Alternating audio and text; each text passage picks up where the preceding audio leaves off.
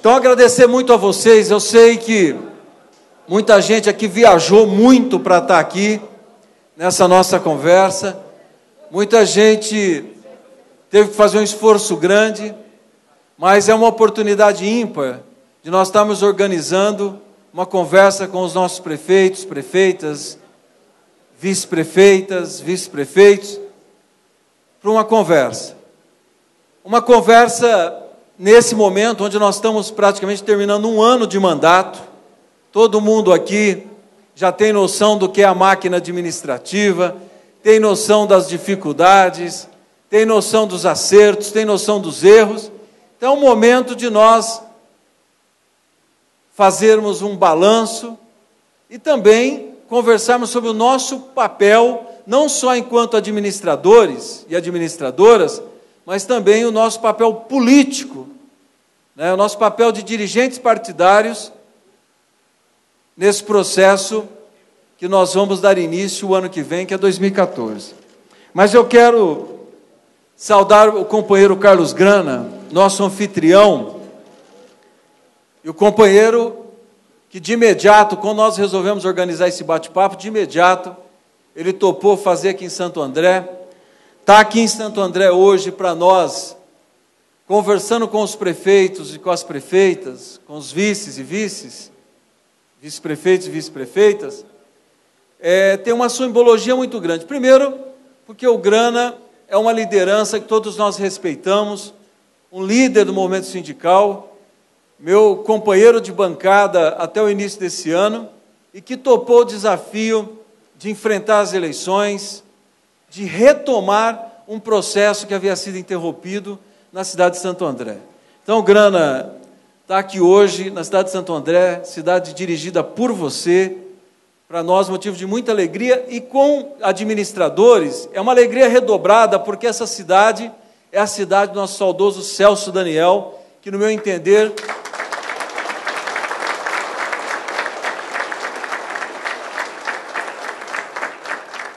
no meu entender, foi um prefeito que fez escola no nosso partido e muito das experiências administrativas que nós ainda hoje valorizamos, todas elas tiveram início na gestão do Celso, ou nas oportunidades que o Celso teve para administrar Santo André. Então, é uma alegria imensa estar aqui hoje em Santo André, é, numa conversa como essa. Saudar aqui também o nosso senador Eduardo Suplicy, saudar a todos os nossos deputados estaduais, deputados federais, saudar também o nosso companheiro, prefeito da cidade de São Paulo, companheiro Fernando Haddad.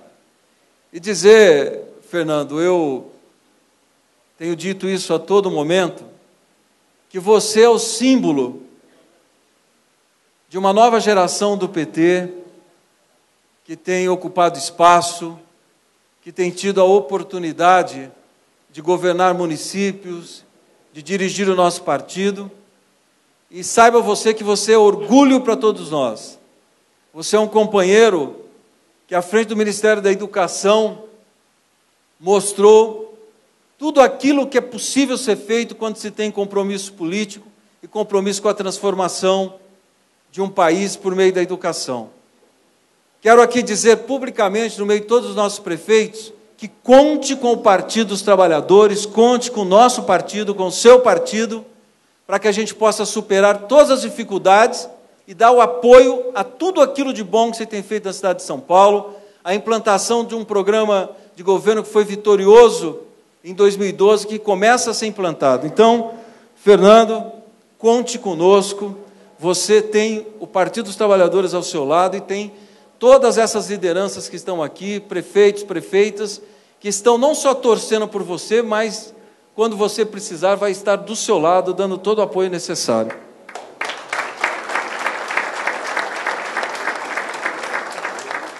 Saudar a nossa companheira Célia, que representa os nossos vices e as nossas vices aqui, nossa vice-prefeita de Dracena, meu companheiro Dudu Bolito, prefeito de Rincão, que representa aqui os pequenos municípios.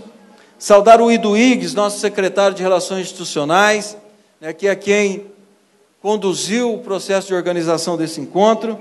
Saudar nosso presidente nacional e presidente reeleito do nosso partido, nosso companheiro Rui Falcão. Muito obrigado, Rui, pela sua presença também. Saudar o nosso atual ministro da Saúde e companheiro que já tem, não só por meio do, do Mais Médicos, porque eu digo sempre que o Mais Médicos está dando uma visibilidade a todo um processo de reorganização da saúde pública no Brasil que o Padilha tem feito. Né, todos os programas que ele tem implantado, né, desde as UPAs, a Rede Cegonha, né, toda a rede de urgência e emergência, toda a nova fórmula de incentivar a organização da saúde pública por meio do IDSUS. Enfim, o Padilha efetivamente está tomando as medidas, implantando as medidas para uma nova fase de organização do SUS no Brasil. Mas o que deu visibilidade a todo esse trabalho é o Mais Médicos, que ele teve coragem, né, seguindo a orientação da presidenta Dilma, teve a coragem de implantar o Mais Médicos. E o Padilha está aqui hoje como ministro da Saúde, fora do seu horário de trabalho, porque nós organizamos esse encontro não só para que a gente possa conversar com os nossos prefeitos e prefeitas e vices, mas também para que a gente possa discutir o futuro. E discutir o futuro significa discutir, debater, organizar o nosso partido para a reeleição da presidenta Dilma, mas também e é muito importante que a gente coloque São Paulo em sintonia com o Brasil. Não é possível que São Paulo faça muitas vezes oposição, e não é oposição política, é oposição administrativa muitas vezes, a esse projeto que tem mudado a vida do povo brasileiro. Então, se nós queremos o Brasil andando mais rápido, com São Paulo em sintonia com o nosso país, esse caminho é o caminho da eleição do Padilha governador do estado de São Paulo. E é por isso.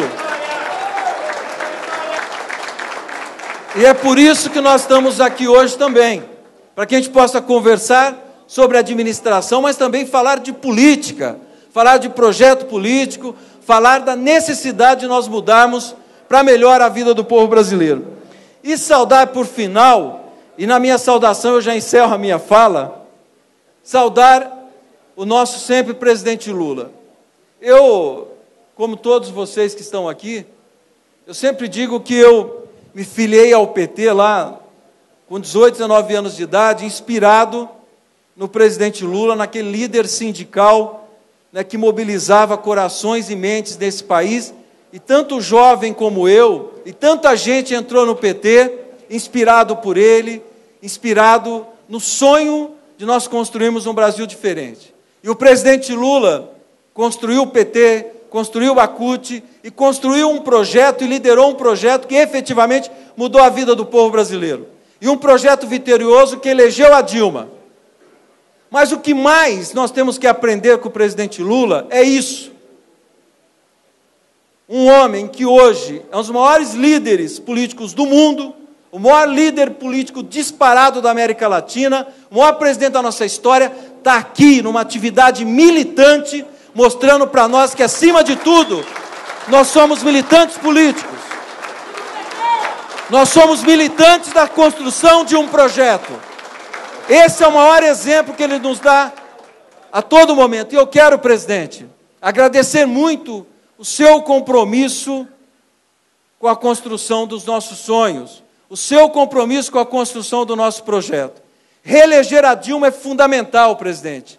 Mas eu sei que a tarefa de eleger o Padilha governador só será possível se nós contarmos com um militante como você, um militante como você do nosso lado. Então, muito obrigado por você estar aqui hoje, muito obrigado por você abrir espaço na tua agenda para estarmos conversando sobre o papel de administradores públicos de mulheres e homens que estão aqui, mas acima de tudo, o papel de dirigentes políticos, de mulheres e homens que estão aqui, porque antes de prefeitos e vices, nós somos militantes de um projeto. Portanto, não adianta a gente se enfiar dentro de prefeitura e achar que só a gestão transforma a vida de um povo. A gestão é importante porque implanta políticas públicas e políticas públicas melhora a vida do povo, mas efetivamente o que muda, o que faz a transformação histórica é a implantação de um projeto. A cidade é importante, porque é lá que tudo acontece, mas nós só vamos efetivamente consolidar esse projeto de transformação quando nós ganharmos o Estado de São Paulo. Então, muito obrigado pela presença de vocês, muito obrigado pela oportunidade de nós estarmos aqui conversando.